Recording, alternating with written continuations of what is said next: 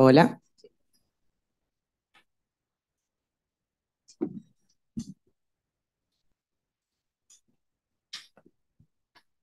Bueno, hola, hola. ¿Ya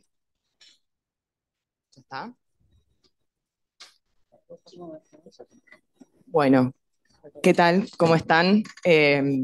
nosotros somos Daniela, Julieta, yo soy antropóloga, Julieta es ingeniera, y trabajamos en Delterra, en el equipo de cambio de comportamiento, y les venimos a traer un trabajo eh, que se llama De la ideación a la acción, herramientas para un cambio de hábito en la separación de residuos en origen. Vamos a empezar un poquito contando quiénes somos. Delterra es una ONG, una organización sin fines de lucro fundada por McKinsey en el año 2018, eh, que tiene como misión el poder rediseñar sistemas humanos generando soluciones innovadoras y escalables.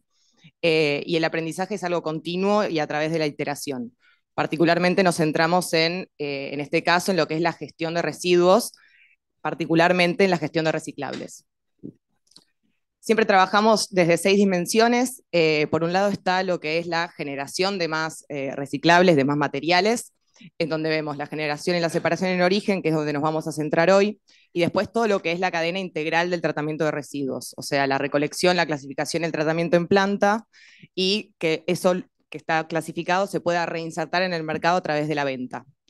Eh, y por otro lado, también somos conscientes de que esto, para que sea un cambio sostenible en el tiempo, tiene que ir acompañado de dejar capacidades instaladas y crear una networking dentro de eh, las ciudades con los distintos actores, eh, la generación de políticas y regulaciones, que un poco a lo que aspiramos también es que a través de nuestro trabajo se puedan nutrir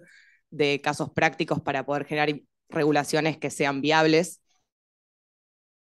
más, más transversal también, que es la estrategia del presupuesto que llevan eh, todas nuestras estrategias. Eh, actualmente el Terra trabaja en tres países, en Argentina, recientemente en Brasil y comenzó en Indonesia. Y en lo que es Argentina, trabajamos en 10 municipios más la ciudad de Buenos Aires, con el objetivo de poder llegar, eh, o sea, hay distintos proyectos en distintas instancias en cada una de estas ciudades. hoy les vamos a traer el ejemplo de Buenos Aires como la, implementación del proyecto que estamos haciendo y un poco vamos a historizar desde lo que fue la investigación en Olavarría. Y el objetivo que tiene es crear soluciones que nos lleguen, eh, con las que podamos llegar a los 8 millones de personas. Em, lo que es residuos lo podemos dividir en la oferta y la demanda. Lo que es la oferta es donde nos vamos a centrar nosotros ahora, que es generar justamente, em, o sea, a través de nuestras estrategias, poder diseñar eh, herramientas que cambien el hábito perdón, de los end users que permitan generar mayor calidad y cantidad de reciclables para poder luego vender y que se reinserten en la industria.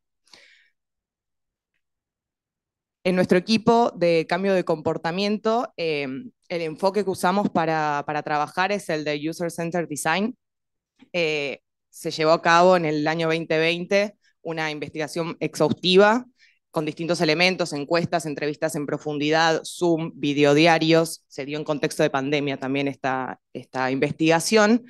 eh, en donde a lo que llegamos fue a poder diseñar tres tipos de personas, tres arquetipos de eh, personas que ya son recicladoras, personas que son escépticas a la temática del reciclaje y personas que son no practicantes, pero es ese al segmento al que solemos apuntar para poder transformarle el hábito. Y por otro, por otro lado, también llegamos a, una jornada del usuario eh, que se esquematiza en cuatro momentos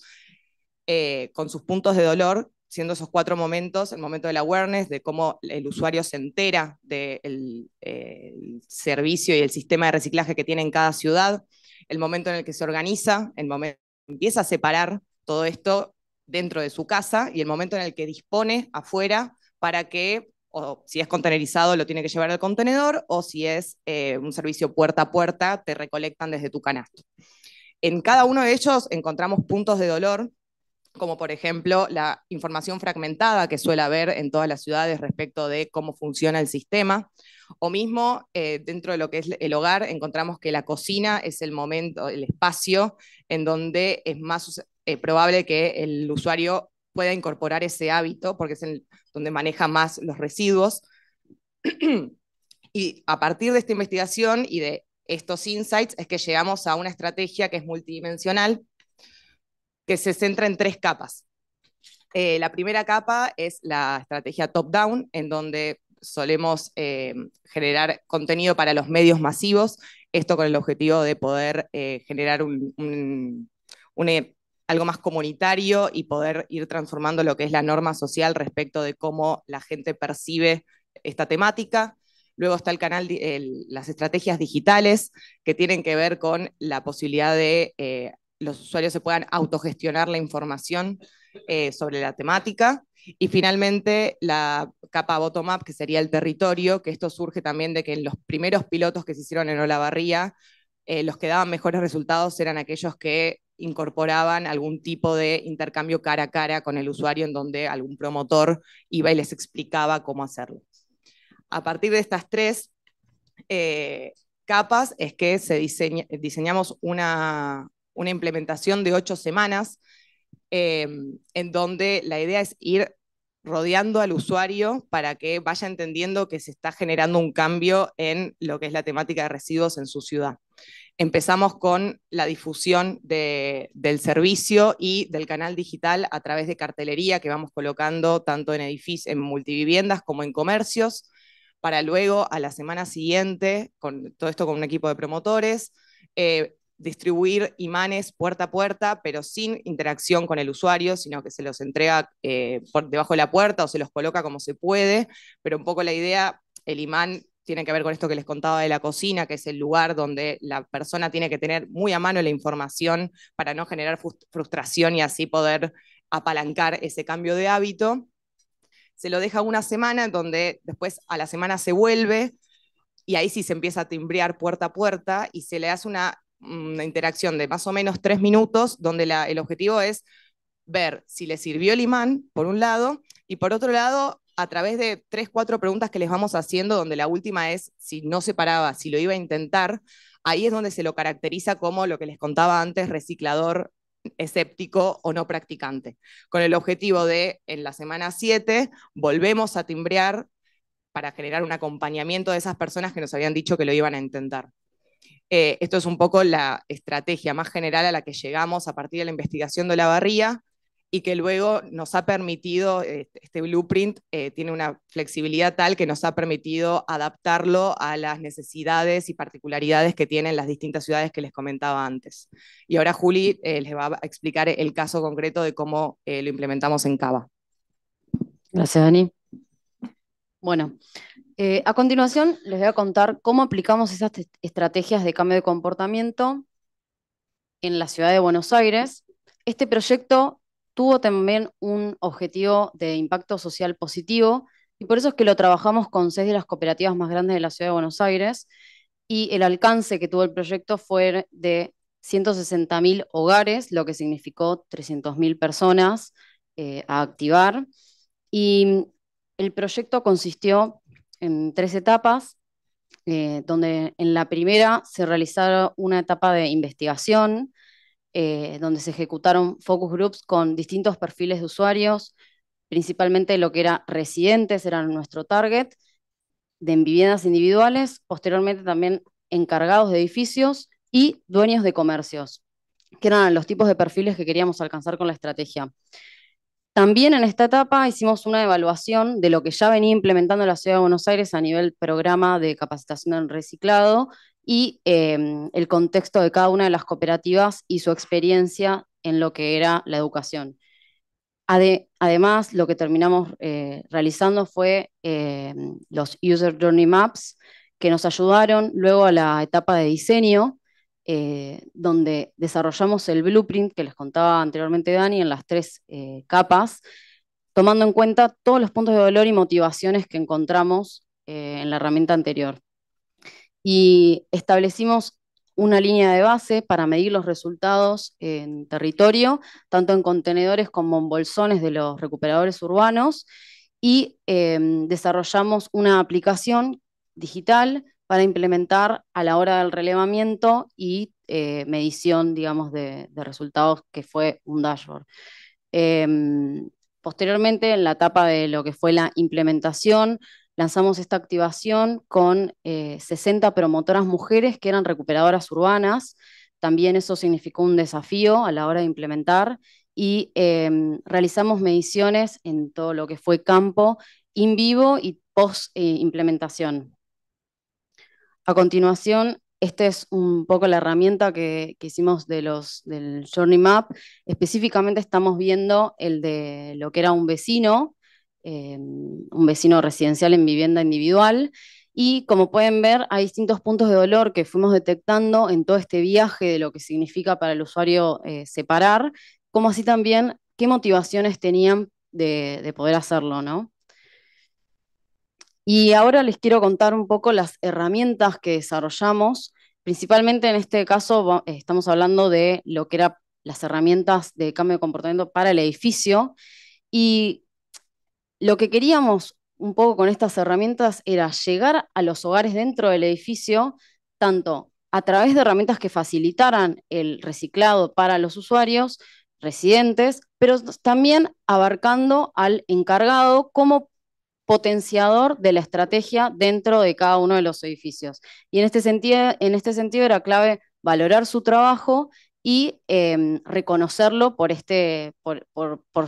promover el reciclado dentro de cada uno de los edificios. Y como ven, el primero es un gancho que se utilizaba para espacios comunes, los cuales facilitaban el acopio. Mucho de lo que salía en la investigación era no tengo lugar o no tengo un tacho separado de reciclables para en mi hogar y bueno, lo que propusimos e implementamos fue un gancho que no requiere espacio, sino más bien es altura. Luego van a ver un póster, que este póster, además de tener los materiales que son reciclables de los que no son reciclables para poder identificar, trataba de enfatizar en tips de cómo separar, ¿no? De decir, bueno, es fácil el reciclado, no es algo difícil, que mucho, esto salía en parte de la investigación, porque por ejemplo no es necesario lavar los reciclables, sino más bien que estén limpios con una servilleta y nada más. Em, además de, bueno, no necesito un dispositivo distinto en mi casa para poder separar, sino más bien con una caja de cartón o en algún eh, contenedor que tengas, lo podés ubicar. Em, y para que toda esta información sea leída, fue muy importante decir dónde hay que colocarlo, que muchas veces lo que pasa es que se entrega folletería y después se termina tirando. Y parte del discurso, ahí desarrollamos que sea en ascensores, porque en el ascensor terminaba pasando que leían hasta la fecha de vencimiento del matafuegos. Entonces, eh, era muy estratégico dónde se iba a colocar y por eso enfocamos que sea en ascensores. Y para lo que les contaba de la motivación del encargado, Específicamente desarrollamos los chalecos que decían sumate a reciclar para que también el encargado promueva el reciclado dentro de este edificio, como así también los premiábamos con em, los em, keychains, em, los, perdón, los llaveros, eh, los llaveros que tenían el nombre de cada una de las cooperativas, porque también parte de la investigación surgía de que me motiva a separar porque estoy ayudando a la cooperativa, estoy dando trabajo. Entonces, bueno, también un poco resaltar el rol de la cooperativa en todo lo que era reciclado. Y bueno, acá para contarles eh, la estrategia que implementamos en comercios. Los comercios los utilizamos como propulsores de información para los vecinos, como así también para interpelar a los usuarios a la hora de que sepan qué material es reciclado y cuál no. Y para eso lo que quisimos mostrar fue en pósters que colocamos en los, comercios, además de activarlos discursivamente con, las promotoras, em, teníamos el objetivo de enfatizar, bueno, hay dos contenedores en tu barrio y no es lo mismo el negro que el verde, cada uno tiene un rol distinto. Eso por un lado, para decir, bueno, acá lo podés colocar a tus reciclables y es lo más cercano a tu hogar. Y posteriormente desarrollamos una nueva herramienta que nunca habíamos utilizado, que se llama Stoppers, eh, el diseño de esta intervención surgió de comparar intervenciones de marketing para promover eh, descuentos o promociones en góndolas de supermercado que eran muy visibles y transformamos eso en un, stopper que decía, este envase eh, lo podés reciclar, llevarlo al contenedor verde. ¿No? Entonces, cada vez que la persona iba a buscar un producto en un supermercado, por ejemplo, podía eh, ver eso de que, bueno, este material lo puedo reciclar. También lo que hicimos parte del trabajo fue optimizar, rediseñar algunas de las herramientas que ya venía implementando la ciudad de Buenos Aires. Una de ellas fue el imán, que lo que salió de la investigación era que no se entendía que era un imán porque su diseño era redondo y pensaban que era un posavasos. Eso salió muchas veces y lo que terminamos eh, diseñando fue otro tipo de diseño que fue cuadrado en este caso y además de que le dimos más visibilidad a los materiales por el tamaño de letra y mismo de, los, de los materiales a separar. Por otro lado, potenciamos el uso del ecotacho. El ecotacho previamente era entregado, si algunos de la ciudad de Buenos Aires sabrá que se entregaban a forma de timbreo. En este caso lo que hicimos fue aprovechar la herramienta para, en, dispositivos que eran estos stands, donde además de, decir los tipos de materiales que eran reciclables y potenciar lo que era la promotora ambiental, porque el cartel dice promotoras ambientales, mostrábamos un cartel de la cooperativa para darle visibilidad a la cooperativa y que ellas también tengan la posibilidad de generar discursos de quiénes eran ellas y qué pasaba con los materiales reciclables. Entonces, cuando ibas a pedir tu ecotacho, además de dártelo, te activaban discursivamente con esto, con, esto que les cuento. Em, bueno, y para cerrar un poco la estrategia, em, además de todo el programa que fuimos implementando, permitimos empoderar y capacitar a más de 60 promotoras mujeres, como les contaban, que eran recuperadoras urbanas, y también em, resaltar el rol que ellas tenían en la cooperativa, que no significa que no separar residuos no estén haciendo una actividad eh, que ayude a lo que era el reciclaje. Para contarles un poco de los datos, esta implementación igual es muy reciente, entonces todavía está en ejecución el análisis, pero para contarles un poco, transformamos el 92% de los potenciales recicladores. Dani les contó sobre los tipos de perfiles. Bueno, los que nosotros siempre enfatizamos son los potenciales recicladores, que logramos transformar declarativamente a lo que era el 92% dijo que había empezado a separar. Mejoramos además la percepción de los recicladores vecinos del barrio en un 30% y em, en lo que fue la categoría, sí, mis vecinos todos son, separan, se incrementó por 3. Eh, y además tuvimos eficacia en las intervenciones que realizamos porque siete personas de cada diez declararon que el imán les había sido útil y el 80% de los edificios dijo haber colocado el póster, eh, siendo que el 90% dijo que lo consideró útil. Así que, bueno, muchas gracias. Bien, muchas gracias. Eh, algo importante que me olvidé de decir antes es que guárdense las preguntas porque al final vamos a hacer todas las preguntas juntas